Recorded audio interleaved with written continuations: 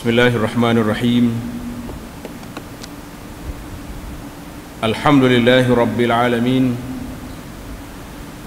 الحمد لله الذي أرسل رسوله بالهدى ودين الحق ليظهره على الدين كله وكفى بالله شهيدا أشهد أن لا إله إلا الله وحده لا شريك له واشهد ان سيدنا ونبينا محمدا عبده ورسوله اللهم صل وسلم وبارك على عبدك ورسولك محمد وعلى اله وصحبه ومن سار على نهجه واهتدى بهديه واستنى بسنته الى يوم الدين اما بعد yang dihormati Fadil Ustaz Azmi selaku pengacara ataupun mewakili dakwah halakat pengurusi alian kuasa masjid imam-imam Masjid Al-Ubudiyah.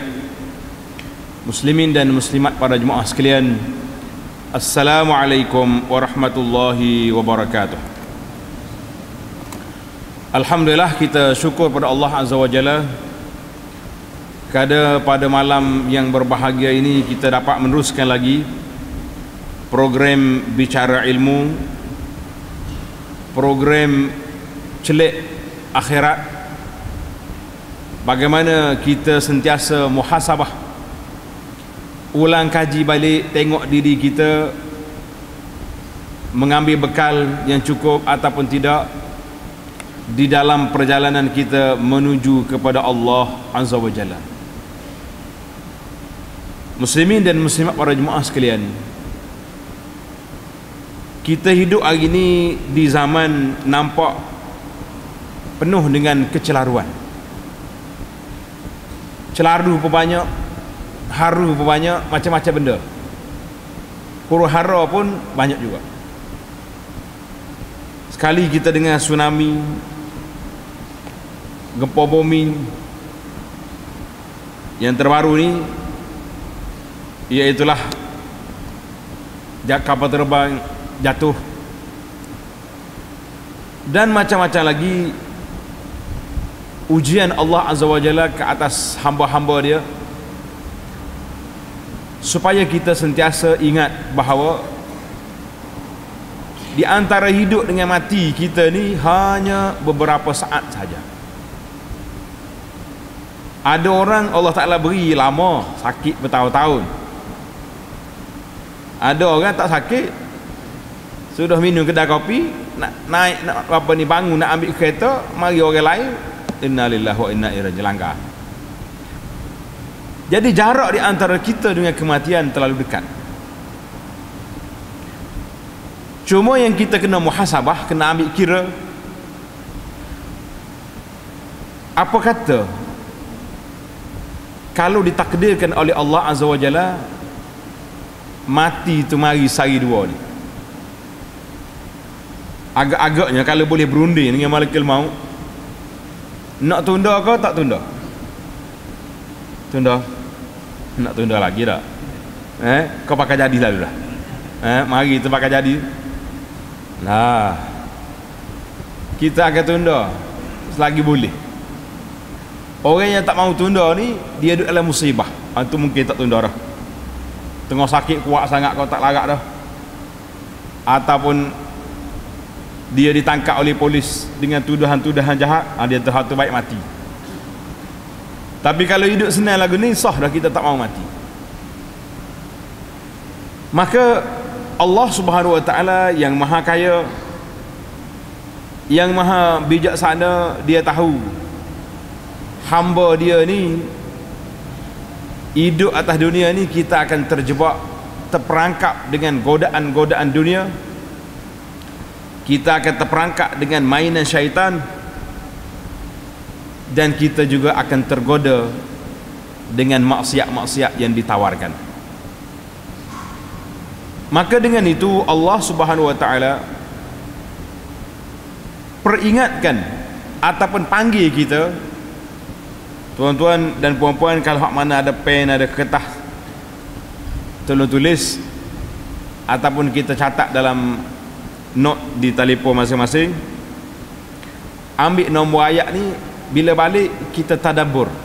Malam-malam kita mikir tengok bagaimana Allah Subhanahu wa taala dengan hamba-hamba dia. Dalam surah Az-Zumar ayat 53 surah Az-Zumar ayat 53 a'udzubillahi minasyaitonirrajim قل يا عبادي الذين أسرفوا على أنفسهم لا تقنطوا من رحمة الله إن الله يغفر الذنوب جميعا إنه هو الغفور الرحيم. Allah peringatkan Qul katakanlah ya Muhammad sallallahu alaihi wasallam Ya ibadiyalladzina asrafu ala anfusihim. Wahai hamba-hambaku yang buat naya kepada dirinya sendiri. Boros kita tak mikir ke diri kita. Allah SWT khitab ayat ini tujuh ayat ini kepada siapa? Kepada hamba-hamba dia yang berdosa kita rasa kita duduk sehari dua ni berdosa ke tidak? Ay, tak ada orang mengaku tak berdosa. Kecuali orang yang sudah naik mertabak tinggi. Dia sudah naik martabat hakikat ah tu tak boleh lagi dah. Nah, orang lain ni martabat syariat dia kata ni main duk main kena semaya lagi. Kalau sudah naik martabat tinggi tak payah dah. Orang ni dia rasa dia tak berdosa. Allah khitab orang-orang yang berdosa yang bersalah ni ya ibadi wahai hamba para ulama ahli tafsir dan juga ahli tadabbur Quran mengatakan bahawa Allah nak jinakkan orang-orang yang bersalah.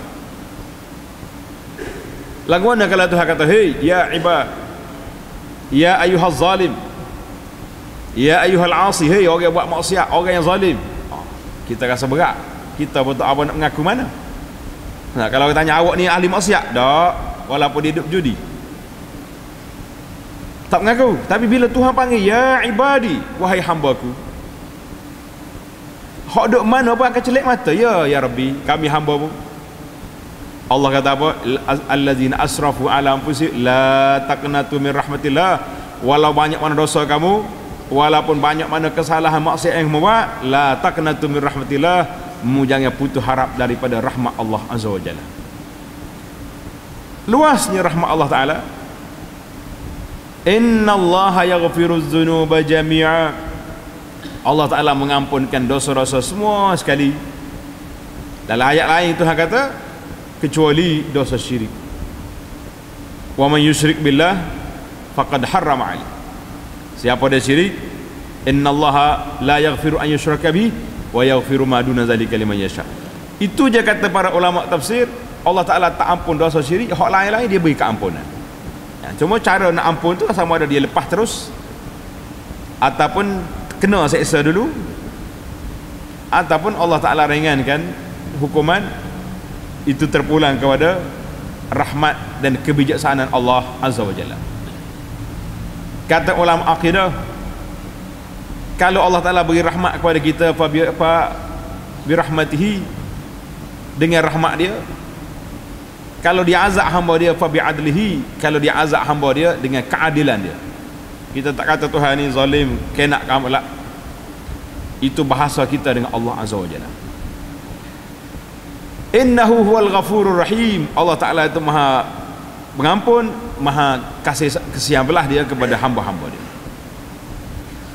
Daripada ayat ini para jemaah sekalian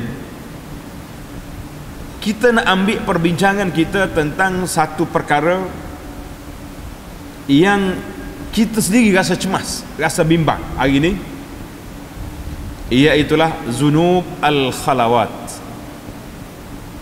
Nampak comel punuh dalam bahasa Kelantan kata.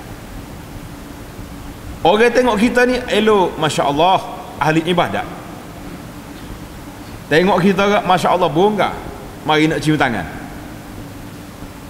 tapi tak ada orang dia buat maksiat secara tersembunyi. Dalam hadis yang diriwayat oleh Sayyidina Thauban radhiyallahu anhu Thauban ni orang yang banyak riwayat hadis. Dia ni pembantu Nabi sallallahu alaihi wasallam dia kata apa?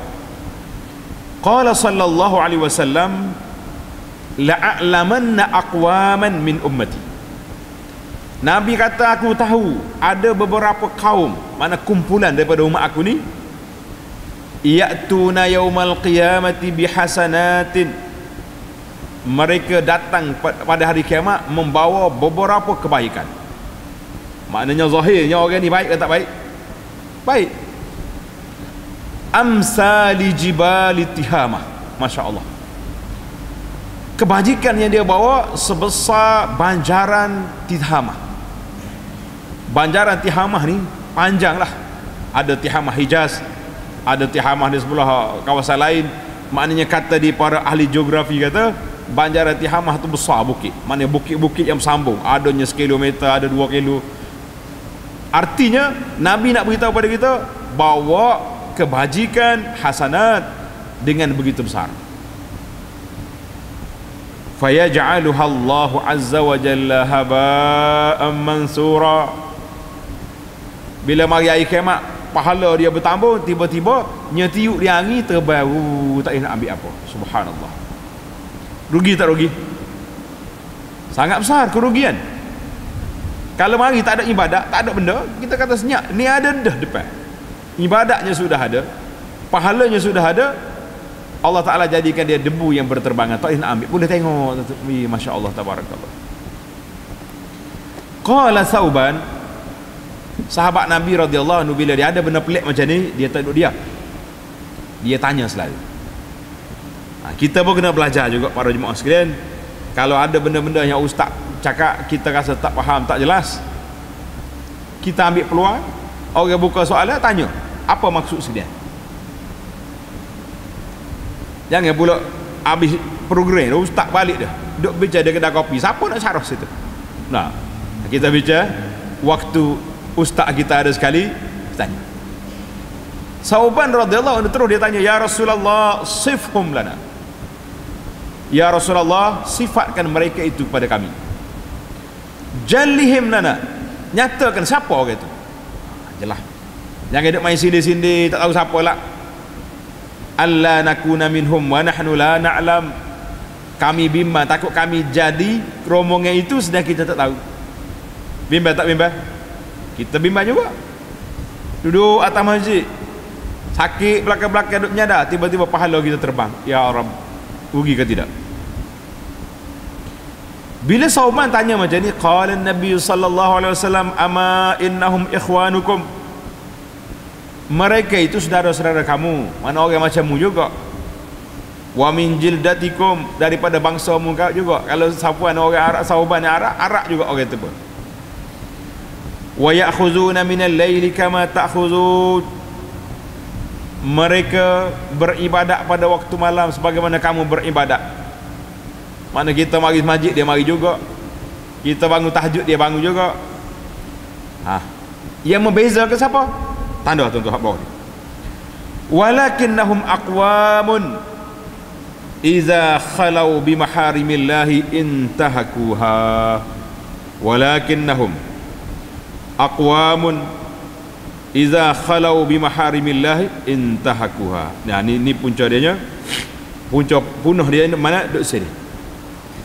Tetapi mereka itu apabila duduk diam-diam khalau maknanya dalam keluar senyap-senyap tak ada orang mari benda-benda haram intahakuha mereka lakukan maksiat secara senyap hadis ini riwayat Ibn Majah dan lain-lain lagi ulama hadis dengan sanad yang sahih. Para ulama hadis kata apa? Ulama hadis mengatakan bahawa hadis ini bahayanya nampak zahir. Zahirnya orang tengok Masya Allah Tabarakallah molek belaka. Tetapi batinnya masalah kata Al-Imam Ibn Hajar Al-Haytami. Ingat Ibn Hajar ada dua. Ibn Hajar Al-Haytami ini ulama faqih dalam mazhab syafi'i. Kitab dia Tuhfatul Muhtaj. Dan lagi kitab dia nama dia Az-Zawajir an Iqtirafil Kabair. Jarang orang baca kitab ni, tak amah. Anda rasa kitab ni kena dijadikan kuliah-kuliah juga oleh para ustaz-ustaz kita.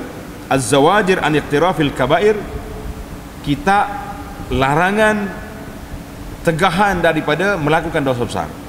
Haytami kata apa?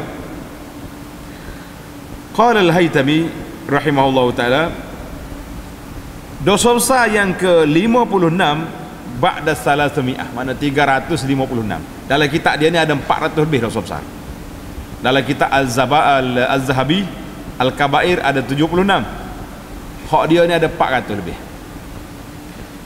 qala izhar zis salihin fil mala' orang-orang yang saleh menzahirkan di hadapan orang ramai dia tu saleh. Orang tengok dia masya-Allah tabarakallah pakat nak jadi macam dia berlaku.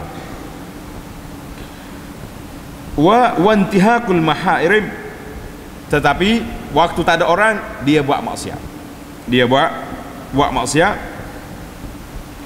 Ini yang dikatakan ada yang mengatakan nampak zahirnya cantik tapi batinnya buruk rusak. Allahu Akbar. Jadi para jemaah sekalian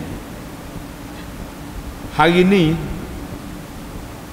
orang nak buat maksiat senang ke payah? Eh? mudah mana boleh jadi kalau kata nak pergi tempat-tempat maksiat tak pergi dah buat kita ni. Ada pihak atas kepala ni. Paling berani pun pergi stadium ya tak tengok piala akhir. Oh piala akhir. Ustaz kata nak ceramah malam tu pun tak ada orang. Cepat-cepat ustaz. Habis majlis tu. Tak Hak tu paling tinggi. Hak, kalau kata nak pergi tempat maksiat, tempat orang berjoget, tak pergi dah. Tetapi dengan adanya alat-alat yang di tangan kita hari ini para jemaah sekalian, kita nak buat maksiat mudah sekali. Hei, saya nak cari ceramah ustaz ni. Belek tengok. Belum jumpa ustaz, jumpa ramai lagi makcik-makcik tepi jalan. Betul tak? Mula-mula Allahu Akbar duk main tengok juga astagfirullah mula-mula astagfirullah tu lepas tiga kali astagfirullah ni lekat mana-mana so ha, tak jumpa ceramah ustaz dah lah pukul 12 malam habis tengok filem nak kata apa bimbang kita hari ni maksiat-maksiat yang boleh dibuat secara sembunyi cukup bahaya.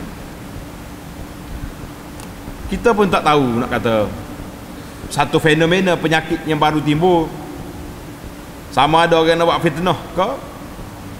Kepada kita ni sekolah-sekolah tahfiz ataupun na'udzubillah memang berlaku sungguh banyak dah repot-repot polis yang mengatakan orang-orang yang duduk di pusat-pusat pengajian ni malam-malam duduk kena kepada anak-anak budak-budak pelajar ditangkap sana sini waliyazubillah cuma janganlah berlaku tak adil bila ada sekolah agama ni kena ada masalah pakat suruh tutup nah.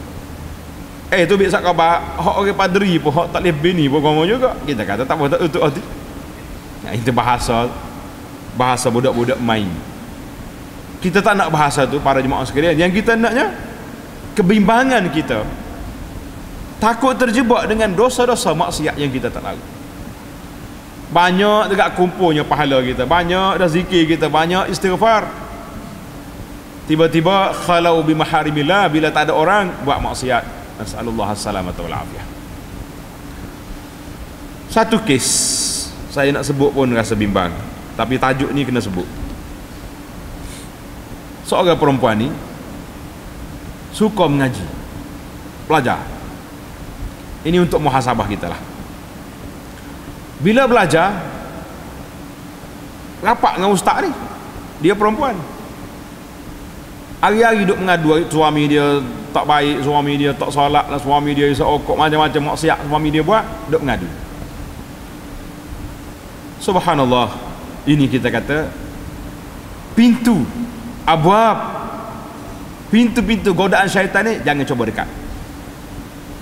Kerana itulah dalam bahasa pekoh dia panggil saddu zara'i. Kerak. Potong jalan terus. Allah Ta'ala larang zina maka dia larang ikhtilat percampuran bebas. Dilarangnya berkhulwat duduk berdua-dua laki-laki perempuan. Di tempat-tempat yang tidak ada orang. Hari nak nak nak berkeluar hari ni senang ke payah? Eh mudah dengan adanya mazhab baru kita ni. Kena ada mazhab baru tak? Nama dia mazhab wasafi ni lah. Kau tak kenal lagi? Tak kenal warna ada belakang dah tu grup dalam grup ada belakang tak? Dalam grup ni bercampur laki-laki perempuan. Hak perempuan ada laki-laki ada masih duduk duduk cakap duduk ngorak situ. Maka kita kata ini maksiat di alam maya cukup berbahaya. Nak pergi luar orang tengok. Tapi duduk dalam alam maya boleh. Maka ini juga satu benda yang cukup amat menakutkan kita. Jadi hadis ini para jemaah sekalian menceritakan kepada kita tentang dosa yang berlaku. Bila ada maksiat ada dosa bermakna hati kita makin gelap. Lama-lama mula-mula tengok rasa engkar lagi. Dua kali tengok tak apa nak engkar dah. Tiga kali tengok ah masuk sekali itu cara permainan syaitan. Mula-mula tengok eh mana boleh ni? Tak molek ni. Tak baik ni. Itu peringkat awal. Tapi kalau dah biasa kata di bahasa orang Arab kata ma li jurhin bimayyitin ilam. Orang mati kalau kita toreh dia luka kan dia dia tak sakit. Kau sakit nak tahu terang ada orang mati pergi kerak. Kalau bunyi aduh tu ha, sakit tu tak? Tak bunyi dah. Kalau jiru hai masuk dalam lidah tengah mai mayat pun tak ada kata marah hei lemah aku ni. Jangan kalau bunyi lagi tu rasa lopak habis hidup mai ni mayat ha, lari habis tak? Lari. Maka para jemaah sekalian kita kena tengok kepada bagaimana tanggungjawab kita sikap kita hari ini supaya tidak terjebak terperangkap dengan maksiat secara sembunyi.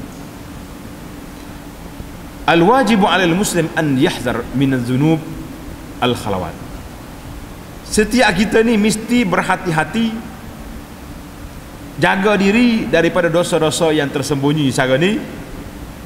Allah Subhanahu taala sebut dalam surah An-Nisa tanda tuan-tuan surah An-Nisa 108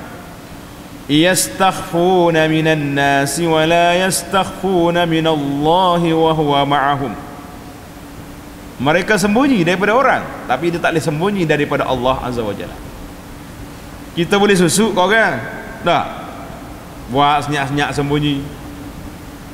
Tapi Allah Ta'ala maha mengetahui.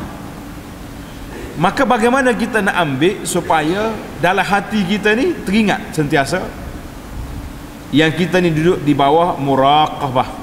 Duduk di bawah pemerhatian Allah Azza wa Jalla.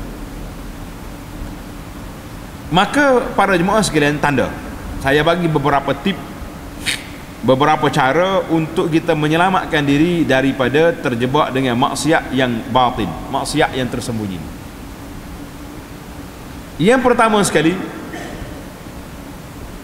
al-iltija'u ila Allah Ta'ala bid-du'a hendaklah kita sentiasa berdoa kepada Allah Azza wa Jalla dengan berdoa. Di antara doa yang diajar oleh Nabi sallallahu alaihi wasallam kalau tak boleh ingat pun tuan-tuan tandalah dulu. Tanda nanti kita tulis. Dalam hadis yang sahih riwayat Imam Muslim Nabi kita sallallahu alaihi wasallam ajar supaya kita berdoa. Cuba ikut belaka.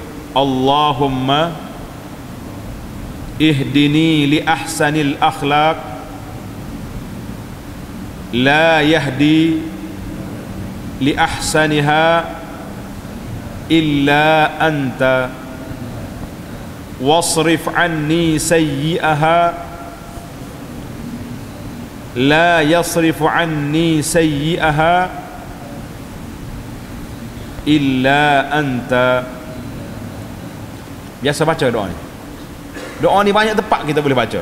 Di antara doanya waktu kita kiam i'tidal dalam solat ada baca doa dan waktu-waktu lain pun kita baca Allahumma mahdini wahdini li asal akhlak. Ya Allah tunjuklah kepada aku akhlak yang baik akhlak kita dengan Allah iaitu dengan kita menjaga tauhid.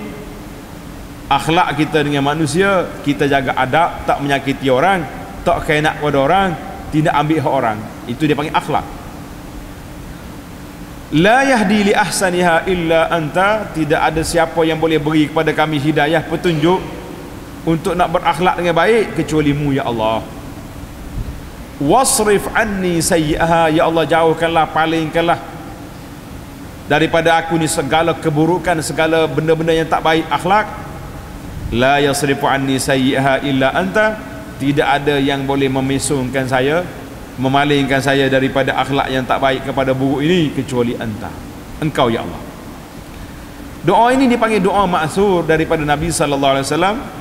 Nabi kita ajar supaya kita minta akhlak yang baik sebab apabila kita ada akhlak yang baik para jemaah sekalian kita tak mau tak mampu kita tak berani nak buat maksiat dan benda mungkar bila Allah Ta'ala palingkan hati kita tak mau maksiat maka dia jadi benci kepada maksiat hari ini yang kita takut tak ada dalam hati kita ni ingkar mungkar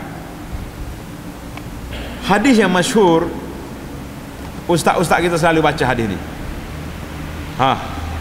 Man ra'a minkum munkaran gana fal yughayyirhu bi yadihi. Dah. Kalau siapa dia tengok benda mungkar, engkar dengan tangan. Eh, berapa benda? Berapa benda maksiat dah kita gi engkar? Tak ada lagi. Fa illam yastati' fa bilisanihi, tak mampu dengan tangan dengan lidah. Berapa banyak dah kita pergi nasihat tengok orang tak semaya kita pergi nasihat dia. Eh awak ni Salat weh Tengok orang perempuan Keluarga kita ke anak-beranak kita Tak untuk aurat kita pergi tegur. Tegur ke ada lagi? Tegur lah Ada hanggut ada tak hanggut Ini tanggungjawab. Mana Puan syatik Kalau tak mampu juga Fabi qalbihi Dengan hati. Ini darjat yang paling rendah sekali Kita engkar benda mungkar dengan hati kita.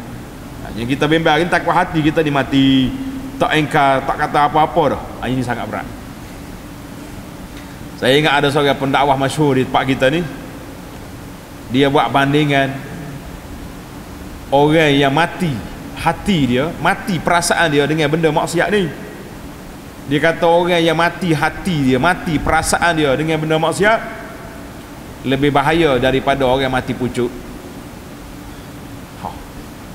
Kata Guana Ustaz Bekir contoh lagu ni. Eh dia kata kalau mati pucuk, habis ubat dia cari. Betul tak? Segala tokak beli belakang. Tapi mati perasaan kita terhadap maksiat, kita tak tak nak baiki hati kita. Ini di antara tujuan kita bincang tajuk ni supaya para jemaah kita berasa, ai mungkar ni. Maksiat ni pakat tegur belakang hari ni kita tengok mutakhir lah akhir tahun kita ni orang-orang ahli-ahli maksiat dah mula bangkit secara berani. Puak-puak syiah berani tunjuk diri. Aku tengok kepala lah. Buku-buku syiah yang diharamkan mereka pergi berjumpa dengan pegawai-pegawai bagi undang-undang supaya lepaskan. Berani. Kumpulan-kumpulan liberal Pokok liberal ni dia tak percaya ke akhlak ke apa. Ah, Tak percaya ke agama. Dia percaya ke human right dia panggil. Tahu human right? Hak asasi manusia. Asal ke hak manusia Tak boleh sekat Dia nak dia nak bini jatuh sama jatuh Apa kena bui? Nak main betina sama betina apa bui? Ha, Ini dia panggil Dalam bahasa istilah Dia panggil LGBT Gaji dengar nama tak Yang itu kangen PKT tu kedai supermarket tu LGBT ni bahaya. Ha. LGBT ni maknanya orang tak tahu identiti. Hak laki-laki nak jadi perempuan hak perempuan jadi laki-laki. Lepas tu pula bukan sekat tu dia nak nikah sama dia. Jatuh nikah dengan jatuh main dengan skru sama skru ni nak pergi hijau lakukan tapi sudah ada dalam manusia hari ni berani angkat kepala. Orang-orang yang diberi pertanggungjawab pula tidak tegas nampak nak lunak eh, tak apa backing dengan pokok ni yang menyebabkan mereka lagi naik. Ini para jemaah sekalian kita tak ada masa. Kita nak tahan anak-anak kita ini dengan ada alat-alat gadget di tangan ni tuan-tuan tidak mampu. Maka marilah kita beri kesedaran kepada anak kita dengan kita berdoa kepada Allah Azza wa Jalla. Dalam doa yang banyak lagi Nabi kita sallallahu alaihi wasallam baca doa doa-doa yang menunjukkan masalah dalam hati kita ni apa dia kata? Nabi kata Allahumma inni a'udzubika minal faqri wal kufri wal fusuq wal shiqaq wal nifaq wal-sumati wal riya. Hak ni ni benda-benda dal- dalaman. Coba tuan-tuan ikut sekali kalau tak kalau tak ingat pun kurang-kurangnya dalam dalam hidup kita ni kita pernah berdoa dengan doa ni. Tak? Kata Allahumma inni a'udzubika minal faqri wal kufri wal fusuqi wal syiqaqi wal nifaqi wal sum'ah wal riya berapa Nabi kita suruh minta perlindungan? Yang pertama sekali Allahumma ini a'udzubika minal faqri. Ya Allah aku minta minummu daripada fakir. Fakir ni susah. Nah, kalau kita mengaji kita tak tahu kelebihan fakir tu orang tu tabak lain. Dia kalau tak makan pun tak apa buat dia tak asal boleh berzikir. Buat kita ni kalau tak makan nak pergi semaya pun tak gerak? Tak kau nak tak pergi masjid tu tak ada makan ni pas tanya ada makan kau nak tak pergi makan tak pergi masjid tu lorak nak makan. Eh, berat juga main dengan makan ni pun. Betul tak? Pasal itulah anda rasa sebut dah sini dulu sekali. Kata orang duduk tepi masjid Waktu orang azan di masjid Dia duduk ngak makan tepi tepi surah tu kita kata orang ni lebih kurang lembu kenyai ya perangai. Lembu kenyai ni kalau dia duduk makan tengah jalan tu kita lah pecah hung dia tak bangun. Tak? Hak ni pun orang azan tak bangun ni jangan. Jangan jadi lembu kenyai yang kedua Nabi kita minta doa a'udzubika minal kufri. Hak ni paling berat minta berlindung daripada kufur. Yang ketiga al-fusuq daripada jadi fasik jadi tak baik jahat. Wasyiqaq suka nak balas dengan orang. Tak kira orang bagi royak apa pun bagi hak benar pun lawan semacam. Wan nifaq sifat munafik. Was sum'ati kalau buat benda-benda hak molek nak, nak nak apa ni? Nak suruh orang puji itu dia panggil sum'ah nak cara bahasa bahasa budak ni dia panggil cari glamour dia panggil ha, kalau buat benda-benda nak tengok orang puji orang puja dia hebat tu waria buat ibadat nak tunjuk orang ha, dia lain dua tu Ria waktu kita buat nak suruh orang tengok. Sum'ah ni tak ada orang tengok tapi dia sendiri hidup memuji. Ha, pasal itulah anak bimbang hari ni di antara alat-alat yang ada di tangan tuan-tuan hari ni iaitulah alat yang kita ada ni boleh senang nak memuji ya. Boleh tak? Eh orang buat masjid. Masjid ni buat apa ni? Apa dia panggil? Tahajud perdana. Dia mari pukul 3 pagi lagi. Pukul 4 siap dah iklan di Facebook oh mengatuk molek pagi ni pukul 3 tahajud awak nak hei solat malam tu tinggi darjat dia sebab apa sebab rahsia rahsia di antara kita dengan Allah tiba-tiba dia pergi dedah ke segala rahsia. Ah tidak. Itu di antara riak sum'ah nifak hak nabi kita minta berlindung dengan Allah Taala daripada perkara-perkara ini. Jadi cukuplah dua tu. Kalau tuan-tuan boleh ingat kita kata Alhamdulillah. Yang kedua sebab yang kedua. Nak jaga diri kita daripada terperangkap dengan maksiat-maksiat yang batin yang tersembunyi ini iaitulah mujahadatun nafs. Mujahadatun nafsi kita sentiasa didik jiwa kita. Kata di para ulama dia kata an-nafsu katifli an-nafsu katifli nafsu kita ni macam baby budak kecil. Entuh milhu. Kalau kamu biar dia syabba ala hubbir rada dia akan membesar dengan duduk isap susu mak dia. Wa in taftimhu yang fatimi kalau kita lepas susu boleh je lepas. Betul tak? Ibu-ibu hak zaman dulu dia bagi susu anak dia 2 tahun. Nak boleh hadik pula baru lepas susu. Pergi cari kapur bukan apa tak? Nak suruh budak ni tak sih sapek eh orang lain ni. Sudah beranak seminggu. Bui susu lembu dah kanak mak pergi kerusuh kata apa? Makna boleh. Pasal itulah kata di qasidah ni kata an nafsu katifli in tuhmilhu syabba ala hummi rada wa in taftimhu yang fatimi maknanya nafsu kita ni macam kanak-kanak. Kalau kita biar ada isak susu itu sisaklah dia. Tapi kalau kita lepas dia lepas. Maknanya kita cuba jaga. Nafsu ni suka kepada benda yang maksiat mungkar memang dia suka tapi kalau kita tidak jangan nafsu bertanggungjawab aku depan Allah Azza wa Jalla esok semua kita buat ni akan ditanya oleh Allah baru ni orang sibuk duduk, duduk tanya kenapa orang miskin masuk syurga sebelum orang kaya berapa ratus tahun beza dua tu Ha. Siapa dia boleh jawab?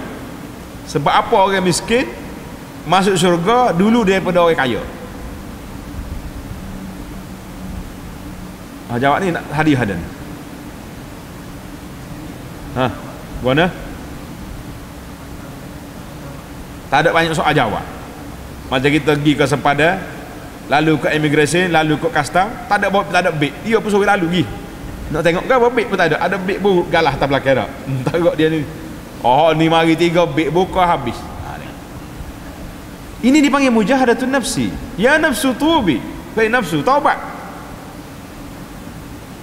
Kalau kita ikut dia, bermakna kita akan dikira, dihitung, dihisap panjang di hadapan Allah Azza wa Jalla nanti. Panjang kira-kira. Itu dia panggil didik. Wa nafsin wa ma sawaha fa alhamaha fujuraha wa taqwaha qad aflaha man zakkaha bahagialah orang yang menyucikan jiwa dia masya-Allah tabarakallah yang ketiga tanda tuan-tuan yang ketiga sebab yang ketiga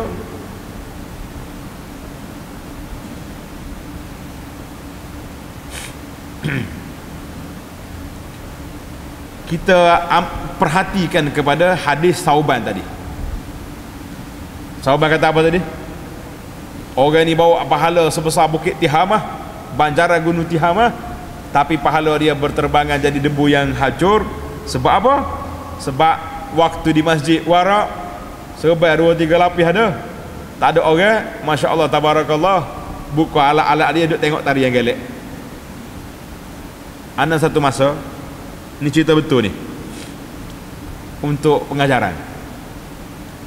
Waktu kita duduk Madinah tu lepas maya Isya ni nak pergi carilah anak beranak hok mari ziarah ni. Kita pergi lambat sikit jemaah haji dia ngatuk kan? Pukul 8 di Madinah pukul 9 pak kita sudah tambah 5 jam pukul 1 lebih. Senyap belakang bilik tidur tiba-tiba satu bilik tu cerah. Kita masuk tengok masuk tengok ada seorang pak cik tak baju dia. Duduk cokoh depan TV tengok cerita Arab hodok gelek. Kita kata astagfirullahalazim pak cik. Mari cari haji kau berapa sini ni. Marah lagi kita saya tak pandai nak, nak, nak apa ni? Tak tak lalu nak tidur kata. Tak lalu tidur pun bukan boleh tengok TV tak tutup TV tu baca zikir. Subhanallah tengok. Orang lain tidur belakang dia duduk gelek situ bimbang kita hari ni. Maka kita ambil hadis ini. Kalau boleh hadis uh, Tauban ini hadis tentang bahaya maksiat cara khalwat ni kita tulis besar-besar letak sini supaya kita teringat ya Rabbi. Jangan. Mari benda-benda tak baik tepi belakang. Ada orang post dalam grup mazhab wasapi kita ni engkah lalu. Jangan. Siapa dia sekali siapa dia tak tak tak, tak delete saya keluar daripada grup ni. Eh tak dia keluar ada fatwa sama dia juga. Siapa dia keluar dari grup ni maka sesungguhnya dia telah memutuskan silaturrahim oh, dia fatwa sedap juga. Eh keluar grup dia diputus silaturrahim fatwa mari mana tahu lagi ha, ah, bijak dia punya admin dia punya kepala dia tu. Ha, nak kacau kan? Kita kena ingat bahaya dosa. Yang keempat tanda tuan yang keempat istisharu muraqabatillahi ta'ala adalah kita sentiasa ingat CCTV Allah Azza wa Jalla tak pernah padam. Eh CCTV hak kita duk pasal di masjid boleh kata semua masjid ada CCTV lah tak tapi tak tanya orang mari pecah tabuh kita cari tak jumpa juga tuan dia dia mari tengah malam CCTV pun gelap bayar yang mari masuk hmm, tak jadi apa. Muraqabatillah. Ingat Allah Ta'ala sentiasa memerhatikan kita maka pada ketika itu jangan orang tak akan berani nak buat. Berani ke tak berani? Ini yang anda kata kita ni daripada budak daripada siapa ketua kita duk hafal sifat Allah Azza wa Jalla. Bagi orang Malaysia ni berapa sifat tuan-tuan? Kena apa 20 ingat boleh kena tanya Tok Imam tak akan nikah? Tu Tok Imam pun akak. Belum akad nikah tanya berapa sifat Allah? 20 hajar kata ai. Munggu lama tak kata ke Abang japa lalu tu tak? Tuan-tuan ambil dalam sifat Allah Ta'ala itu tiga yang kita nak. Allah Ta'ala mendengar Allah Ta'ala melihat Allah Ta'ala mengetahui. Cukup. Itu dipanggil muraqabah. Bila kita nampak benda mungkar eh hey, Tuhan tahu. Berani tak berani buat? Tak akan berani kita buat. Masya Allah Tabarakallah. Bila nak cakap orang nak mengepak orang Allah Ta'ala sami kaunuhu sami'an maha mendengar. Macam nak buat? Hari ni saya pun tak tahu nak kata. Apabila pendedahan yang dibuat oleh oleh pihak kerajaan sama-sama kerajaan belaka hak tu kerajaan dulu hak ni kerajaan baru betul tak? Hak ni juta sini juta sini hilang. Eh Masya Allah tabarakallah. Nabi kata apa siapa dia ambil tanah orang sejeka Allah Ta'ala gulu tujuh bumi tujuh lebih bumi dicampur atas kepala. Ni ambil harta rakyat juta-juta. Hak dia kata ni saya tak sih kata apa-apa. Tak sih tak sih tidak nak waktu dah. Cuma kita kata kalau pendedah ni itu betul bermakna di mana kemurakabah. Mana perasaan manusia ni rupanya masing-masing berebut nak jawatan sesuatu apa? Untuk nak kau harta negara-negara. Pasal itulah kata di setengah ulama dia kata kalau mu tengok dalam umat negara umat Islam itu ada orang miskin mungkin tahulah bahawa di sana pencuri yang telah ambil harta mereka harta rakyat. Murakabah mula-mula anak ini cerita betul ni. Pengalaman saya belajar dulu. Madinah. Taklah lama sangat. Dia kata lama mana ustaz duduk Madinah? Kata tak lama. Dia boleh pak orang anak. Tak lama tak lama pak orang anak eh masa tu kita tengok orang-orang yang mari ni baik-baik belakang ni warak jauh kau pergi Mekah. Kan bila balik Malaysia tengok ya Allah senara rasuah tinggi. Kita kata betul ke masyarakat kita ni lagu ni perangai? Dia rasa ajaib kita. Lo ni tak dengar ajaib dengar semua juga. Jadi ke mali jurhim bima yutin ilam. Orang mati tu tak sakit dah kalau kutip pun. Ha. Jadi bila duk tengok sangat banyak sangat kita rasa tak ada apa-apa. Jadi para jemaah sekalian yang keempat istisyar muraqabatillah kita kena terasa dalam hati kita ni pemerhatian Allah Azza wa Jalla kepada kita. Biar rasa Tuhan perhati kita. Barulah kita tak berani nak buat benda mungkar dengan maksiat. Kalau tidak hmm, senyap. Yang kelima tanda yang kelima. Ya takhayyal muslim. Seorang muslim itu nak buat maksiat kita kena mikir aku ni bukan ahli maksiat ni. Orang baik ni. Kalau pergi di masjid orang tak depan. Kalau kita berjalan orang hormat pakat duduk salah. Kalau kita pak kenduri kepala kambing boleh kita. Betul tak? Maknanya orang baik ni hot tu hot dia semuanya eh waktu nak buat maksiat kita bayang dalam kepala kita bagaimana kalau orang ramai tengok aku buat benda ni maka di situlah timbul nakkan daripada Nabi sallallahu alaihi wasallam wastahi minallah istihya'uka rajulan min ahli Nabi kata naklah kita letak dalam hati kita ni perasaan malu kepada Allah Taala sebagaimana kita malu orang kampung tengok kita buat maksiat Eh, tak ada orang ni. Eh, orang tak ada. Tapi Allah Azza wa Jalla ada ke tak ada? Para malaikat ada ke tidak? Subhanallah. Macam mana boleh buat maksiat? Macam mana berani langgar perintah Allah Azza wa Jalla? Larangan Allah Azza wa Jalla. Kenapa kita langgar? sebab terlupa kepada muraqabah dan terlupa kepada sifat malu yang ada ini ni orang tulah seorang tokoh sok syekh lah nama dia Pok Yik orang panggil Pok Yik Syekh Tayyib Pok Yik ni waktu anak duduk di Mekah dulu di Mekah tu ada satu rumah nama dia Rumah Permas. Ha, kalau raja dengar Rumah Permas ni Persatuan Melayu Se-Malaysia. Dia panggil permas. Jadi Pak Yik duduk rumah permas tu lah. Sebelah rumah kita tu rumah permas ni rumah nenek. Nenek pada hamba rumah hatuk kita Syekh Daud Kelantan duduk sebelah. Jadi kalau kita, kita pergi Mekah duduk situ. Pak Yik ni balik Malaysia orang tanya dia nak ambilnya hak kata-kata dia cukup memberi kesan. Istilah orang modern ni dia panggil sentap punya, punya bahasa. Orang tanya dia Syekh Tayyib apakah amalan yang patut kita ajar kepada wanita-wanita zaman kita hari ni?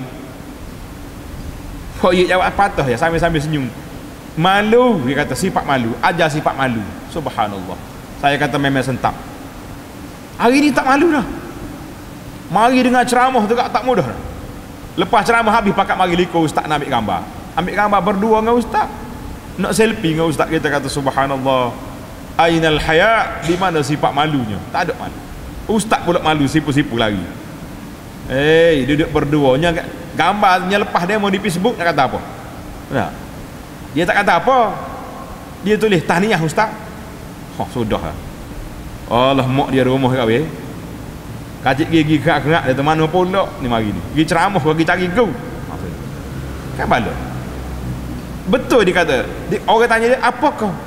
amalan ajaran yang paling baik kita ajar kepada wanita zaman kita ni dia kata sifat malu saya kata jazakallahu khairah wa rahimakallah ya syaitan malu sekarang ini hilang sifat malu mungkin disebabkan sistem pendidikan kita hari ini bercampur daripada kecil mari pula suasana diajar oleh penjajah kita dalam TV dalam alat-alat sebaran kita ini bercampur kau habis yang menyebabkan kita rasa terasing.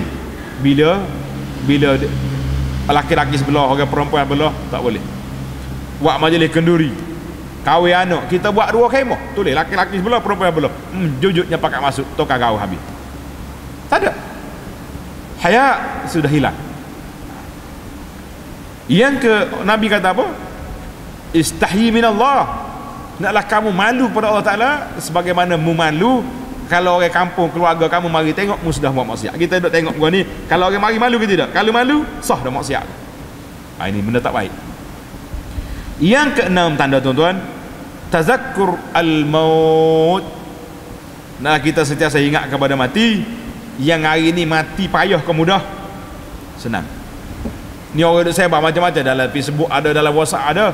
Orang mati tengah duduk menyanyi tengah duduk lompat. Tengah duduk subhanallah. Ada pula hak mati tengah duk baca Quran. Ada hak mati tengah sujud. Kita kata ini insya-Allah taala tanda-tanda husnul khatimah. Tapi kita nak mikir kalau aku maksiat ni mati tika ni nak jadi apa? La haula wala quwata illa billah. Kalau boleh mikir hak ni tuan-tuan tak akan berani buat maksiat. Sebab sekarang ni Allahu akbar orang mati ngejut banyak sekali. Kita kata kalau dia tu orang kapur makan tak patah patah juga Fatah ke apa? Ha? Ada orang tanya ustaz ni berpantai ke makan? Kata pantai juga. Dia kata pantai apa ustaz? Pantai jumpa. Kalau jumpa bismillah lalu. Ha. Makan tak pantai mati mana siapa? Ni kadang-kadang hok mati ngejuk ni doktor pakar. Siapa mati? Doktor pakar jantung. Mati apa? Sakit jantung. Nak kata apa? Maka kita kena tengok. Ana bila teringat hak ni tuan-tuan, kita ni insya-Allah taala kalau kedai orang minum arak restoran orang minum arak masuk tak masuk? Masuk? Tak masuk. Dah buat ada pihak atas kepala ni tak? Eh tapi duduk atas kau tuban nak lari mana kita? Duduk atas kau tuban eh duduk galah ke botol arak ni wain-wain kata hai dia ni meng kita ke astagfirullah astagfirullah takutnya berbok jatuh kau tuban orang duduk minum arak sekali sebelah kita. Takut nak lari mana kita? Tapi apa boleh buat? Atas dunia ni kan nak selamat daripada maksiatnya satu kapal terbang aja. Nah kapal terbang Arab Saudi Saudi Airline kita bukan cakap tak ada arak atas tu. Ekor dia tu surau. Boleh semaya jemaah lagi. 4-5 orang atas kapal terbang. Masya Allah Tabarakallah. Baru ni amat naik kapal terbang Arab. Arab juga. Kita pergi lah ekor tu nak semaya Maya Zuhur dengan Asar. Betul lagi kita naik pukul 10 pagi Maknanya pukul 12 Zuhur. Ingat aku ada tempat semaya Eh Nyo buat bar dia panggil. Mini bar ni Tempat orang duduk mabuk arak situ. Kata astagfirullah Kalau tak pergi lebih baik Kita tak tahu orang duduk minum arak Tak takut. Tadakkarul maut. Ingat mati Sekarang ni mati mengejut. Apa kata kalau tengah buat maksiat Tiba-tiba mati tikot tu? Kif nak buat? Eh berat kita ni. Yang ketujuh tanda tuan ingatlah. Pahala syurga yang disediakan oleh Allah Azza wa Jalla kepada orang-orang yang saleh. Kepada orang-orang yang saleh kata di para ulama bagaimana kita nak nilai nak nilai benda ni baik tak baik? Boleh tak? Tanda baik. Bagaimana kita nak menilai perkara ini baik ataupun tidak. Daripada hadis Nabi sallallahu alaihi wasallam jadi riwayat oleh uh, An-Nawas Ibnu Sam'an Al-Ansari. Tanda hadis ini tuan-tuan. An-Nawas bin Sam'an radhiyallahu anhu qala sa'altu Rasulullah sallallahu anil birri wal ismi. Aku tanya Rasulullah sallallahu alaihi wasallam tentang kebaikan dan dosa. Nabi jawab dua patah Al-birru husnul khuluq. Nabi kata kebaikan itu perangai comel baik. Al-birru husnul khuluq. Kebaikan itu perangainya baik, akhlak mulia, baik. Wal ismu dosa tak baik itu mahaka fi sadrika apa yang duduk bergelora dalam perutmu wa karihta an yattali'a alaihi nas. Dan mu tak suka waktu kamu buat orang tengok. Ha, itu dia panggil benda tak molek eh kita ni kalau kita pergi telefon baca duk baca Quran dalam masjid orang mari jenguk. Malu ke tak malu? Bukan cakap tak malu. Bunyi orang nak mari kau derah lagi. Saya qulu sufaha minan tapi kalau duduk tengok cerita dalam masjid mana agak? Orang mari. Allah derah. Tarik telefon dah ini contoh Nabi kata apa? Al birru husnul khuluq wal ismu ma haka fi sadrika benda yang ada tergelora dalam hati kita ni dan kita tak suka kalau orang tengok.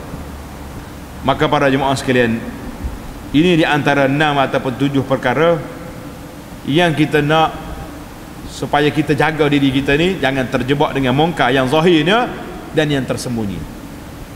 Yang zahir pun ada pula mungkar yang zahir. Hari ni pun masalah juga tentang muka yang zahir ini.